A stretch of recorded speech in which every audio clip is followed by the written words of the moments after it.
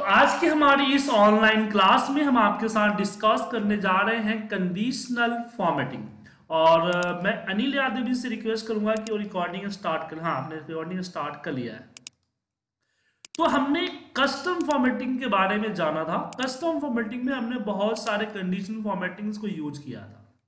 अब बात करते हैं हम कंडीशनल फॉर्मेटिंग अब कंडीशन फॉर्मेटिंग का इस्तेमाल क्यों होता है, इसके बारे में एक बार जान लीजिए। जैसे कि नाम से पता चलता है फॉर्मेट विथ कंडीशन राइट जैसे कि नॉर्मली मान लीजिए कि मैंने इसको सिलेक्ट किया और इसके ऊपर कलर कर दिया। अब ये 22 पे क्या लिखा हुआ है, इससे कोई फ़र्क नहीं पड़ता है। इसने जस्ट कलर कर दिया। लेकिन मुझे यहीं पे कंडीशन देना है कि ग्रेटर देन 50 वाले को ही कलर करना है।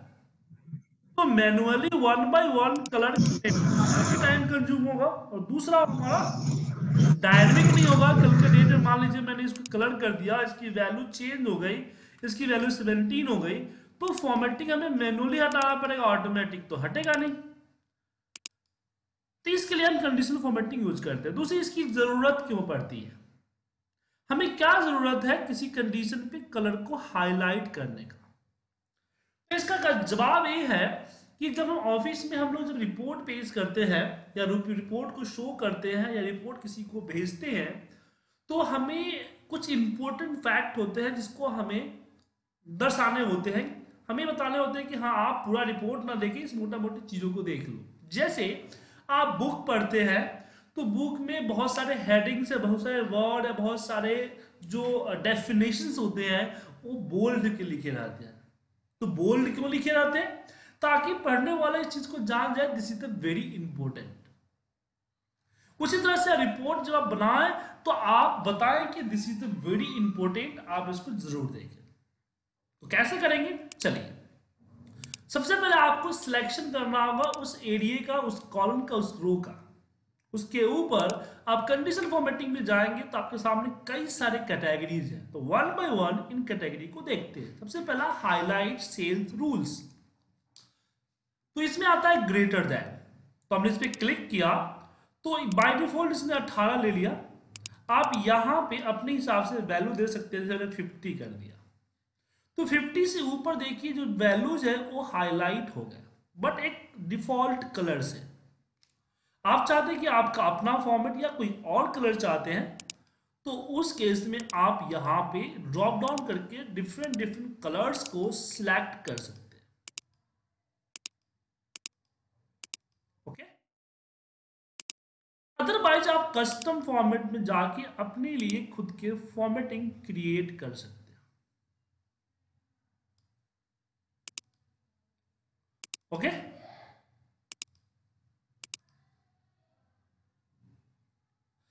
क्लियर है sir Rahul ji? Yes sir doubt तो नहीं है? नो no डाउट अब इसमें आगे बढ़ते हैं। अब इसमें इस तरह से ग्रेटर देन है ऐसे लेस देन है किसी नंबर से छोटा और इसी में आपके पास बिटवीन है between two numbers minus and positive negative positive दोनों दे सकते हैं। और इसी में आपका तीसरा इक्वल टू है। अब चीज़ जान लीजिए तो तीन चीज़ें ऊपर है greater than less than between इनके ऊपर जो है, आप सिर्फ़ दे सकते हैं क्या? नंबर डेट एंड टाइम मतलब कि आप जो है, किसी नंबर पे कंडीशन लगा सकते हैं greater than less than equal to किसी नाम पे तो लगा सकते। हैं आप ऐसा तो कर सकते हैं ग्रेटर देन पूजा। या किसी पर्टिकुलर डेट के ऊपर greater than less than equal to between कर सकते हैं। लेकिन जो इक्वल टू है इक्वल टू में आप कुछ भी डाल सकते हैं। इक्वल टू एक नंबर 17 या इक्वल टू एक टेक्स्ट डीवीडी या इक्वल टू एक पर्टिकुलर डेट जैसे कि equal to one dash one dash ठीक है?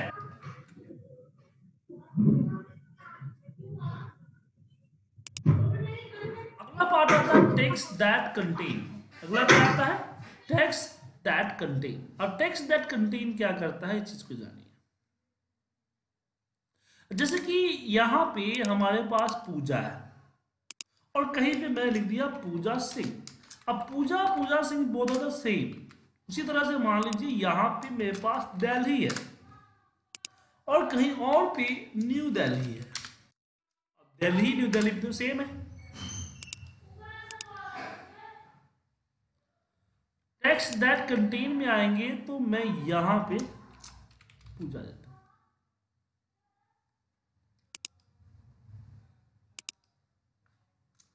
यहाँ पे अगर मैं पूजा कर दूँ तो पूजा और पूजा ये रहेगा, पूजा सिंह हाईलाइट नहीं होगा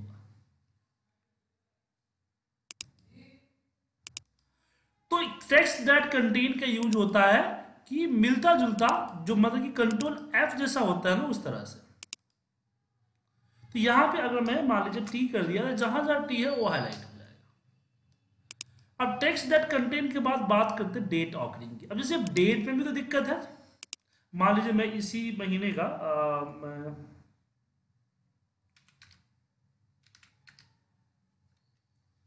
महीने का डेट यहाँ पर रख देता हूँ। तो यहाँ पे अगर मान लीजिए कि मुझे कोई पर्टिकुलर डेट हाईलाइट करना है तो इक्वल टू करूँगा। जैसे आज का डेट हाईलाइट करना है तो आज का डेट है हमारा मान लीजिए दो है। तो हाईलाइट हो गया। लेकिन हमेशा दो रहेगा ये। कल मैं ओपन करूँगा तो तीन नहीं होगा, दो ही रहेगा। उसी तरह से अगर मैं बिटवीन कर देता हूँ तो बिटवीन में भी वही डेट रहेगा। जो भी डेट डालेंगे फिक्स रहेगा। लेकिन मैं चाहता हूँ कि मेरा डेट मेरे सिस्टम डेट के अकॉर्डिंग चले। मैं चाहता हूँ कि मेरी डेट सिस्टम डेट के अकॉर्डिंग चले। तो उस केस में हम यहाँ पे एज ए डेट ऑकरिंग का इस्तेमाल करेंगे। एज ए डेट ऑकरिंग और एज ए डेट ऑकरिंग में यहाँ पे हमारे पास है कि स्टडे मतलब कि कल की डेट टुडे आज की डेट अब मैंने ओके okay कर दिया तो ये दो दो बारह फिक्स नहीं रहेगा। कल जैसे मैं फ़ाइल ओपन करूँगा तो ये आपको तीन बारह दिखाएगा। ऐसे यहाँ पे टुमारो ऐसे यहाँ पे in the last seven days this week next week last month this month ऐसे इस तरह से हाईलाइट करेगा।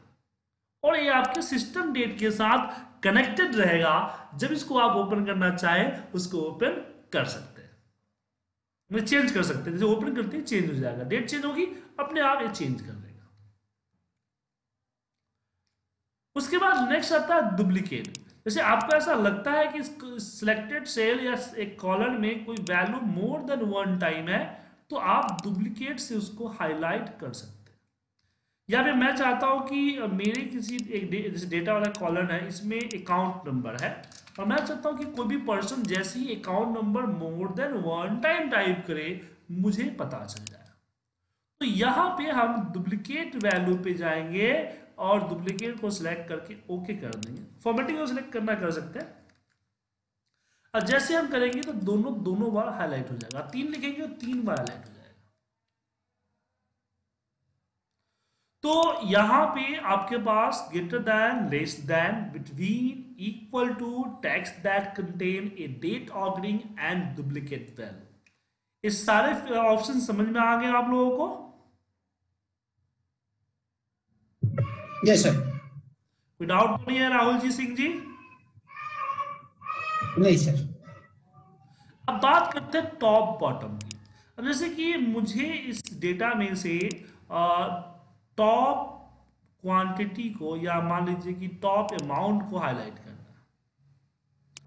तो यहाँ पे हमने क्या किया? टॉप बॉटम में टॉप टेन आएगा। टॉप टेन की जगह पे मैं अपना top five top twenty top hundred जो देना चाहूँ दे सकता हूँ।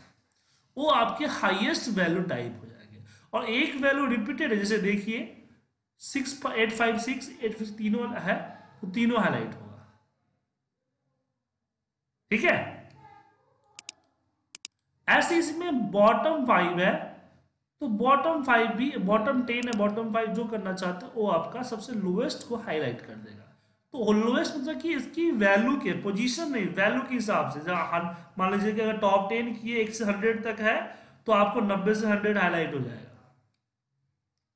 तो वैल्यू के हिसाब से करेगा। अब इसमें top ten percentage and bottom ten percentage है ये आपका परसेंटाइल के अकॉर्डिंग वर्क करता है। तो मैं परसेंटाइल फॉर्मूला समझाऊँगा तो इसको समझा दूँगा।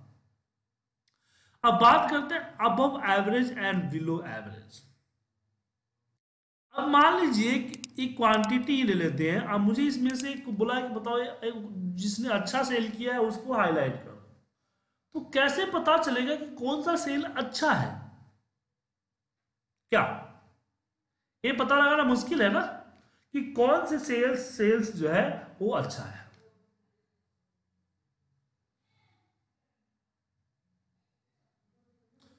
तो उस केस में हम क्या करेंगे, इसका एवरेज निकालेंगे।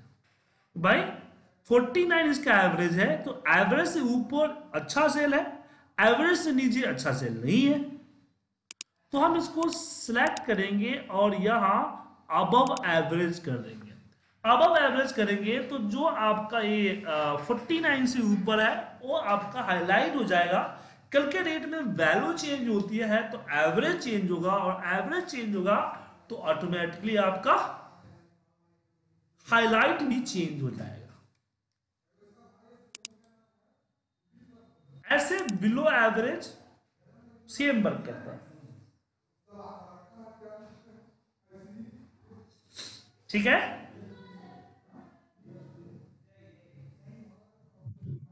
जी सर। तो टॉप बॉटम भी आपको समझ में आ गया होगा राइट अगला कैटेगरी है डेटा बार जैसे कि अब मुझे पता करना है कि सेल्स सबसे मतलब मान लीजिए कि हम हम जब को जानते हैं कि 62 सबसे हाईएस्ट सेल है या सबसे लोएस्ट सेल है, बीच में इसका पोजीशन क्या है इस पूरे डेटा क्योंकि इस पे हम कोई चार्ट तो नहीं लगा सकते क्योंकि डेटा काफ़ी बड़ा है। अगर चार्ट लगाऊँगा तो दिक्कत हो जाएगा।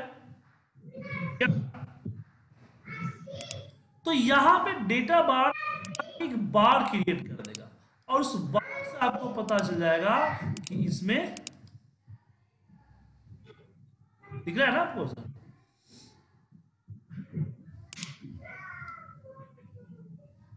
ठीक है?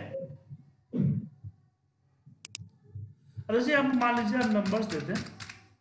यहाँ पे एक नंबर में सामने दिखाता हूँ इसको one two three four five six seven eight इसको सिलेक्ट किया और यहाँ पे हमने बाढ़ दिया। जैसे मेरा नंबर्स बढ़ रहा है उस तरीके से ठीक है? ठीक है और इसी में अगला होता है कलर स्केल कलर स्केल भी डेटा बार की तरह ही काम करता है। तो मैंने इसको सेलेक्ट किया। देखिए, जैसे आपका कलर रेड टू ग्रीन हो रहा है। ग्रीन टू रेड हो रहा है। तो इस तरह से आप कलर से भी कर सकते हैं इसका यूज़ काफ़ी कम होता है। लेकिन क्लियर समझना है तो icon set but bottom middle upper या फिर bottom lower middle lower middle upper middle and upper इसका इस्तेमाल कर सकते हैं। या फिर इसको ऐसे भी कर सकते हैं कि यहाँ पे हमने दे दिया क्वार्टर वन और यहाँ हमारा क्वार्टर टू है। क्वार्टर वन में फोर्टी सेल है क्वार्टर टू में हमारा फोर्टी फाइव सेल है। तो किसमें ज़्यादा सेल है? इसके लिए यहाँ पे कंपेयरिंग निकालने की ज़रूरत नहीं है इसको सिलेक्ट कीजिए और आइकन सेट पे क्लिक कर देते हैं। जैसे चेंज हुआ मान लीजिए कि ये, ये आपका 39 हो गया तो अपने आप स्वैप हो जाता है। तो इसका यूज़ हम लोग जो है ज़्यादातर इसमें करते हैं डैशबोर्ड्स वगैरह में ठीक है? अब क्वेश्चन आता है क्या इसके अलावा और भी है? देखिए आप जब भी कैटेगरी में जाते हैं एक मोर रूल्स आपको दिखता है। तो मोर रूल्स क्या है? तो जी कि जो बाहर आपको दिया हुआ है ये आपका जस्ट मोस्ट यूजेस कमांड जैसे कि ग्रेटर देन है लेस देन है लेकिन greater than equal to between है नॉट बिटवीन टू इक्वल है not equal to text that contain है तो स्टार्ट विद एंड विद क्यों नहीं है? तो ये जो बाकी ऑप्शन हैं, वो मोर रूल्स या न्यू रूल्स में आपको मिलेगा। मोर रूल्स या न्यू रूल्स में मिलेगा। अब यहाँ फॉर्मेट सेल कंटेन दैट पे जाएँगे याद देखिए between not between equal to not equal to greater than less than इस तरह दिख रहा होगा। अप्लाई करने का तरीका क्या है? जैसे हमने इक्वल टू हमने यहाँ पे कंडीशन 40 डाल दिया और यहाँ पे अपनी फॉर्मेटिंग सिलेक्ट कर ठीक है? क्लियर है? जी सर तो अब अगला पार्ट दी कंडीशन फॉर्मेटिंग को मैं चार, तीन या चार क्लासेस बताऊँगा। तो पहली क्लास है मोस्ट यूजेस कमांड की। कल हम बात करेंगे इसके अंदर ट्रिक्स की एंड यूज़ फॉर्मूला यूज़ करेंगे ठीक है? तो हम कल intermediate level and advance level का कंडीशनल फॉर्मेटिंग को पढ़ेंगे। अब हम बात करते हैं आपके क्वेश्चंस के ऊपर वापस आते हैं। आपने क्वेश्चन किया था प्लस माइनस वाला ना? जी। तो क्या है कि मेरे पास एक डेटा है यहाँ देखिए। प्रॉफिट एंड लॉस तो जो पॉजिटिव है वो हमारा प्रॉफिट है। जो निगेटिव है वो हमारा लॉस है। ज़ीरो है प्रॉफिट नो लॉस ठीक है? और किसी ने डेटा डाल दिया जैसे डाल दिया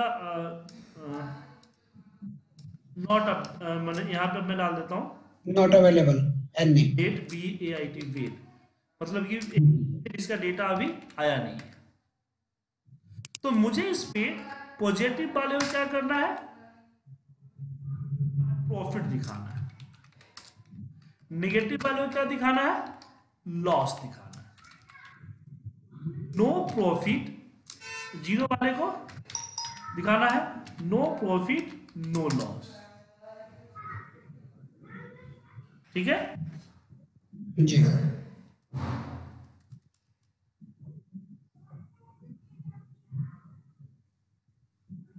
क्लियर है? जी। और यहाँ पे टेक्स्ट किसी तरह का टेक्स्ट है? तो दिखाना है। Not update ji.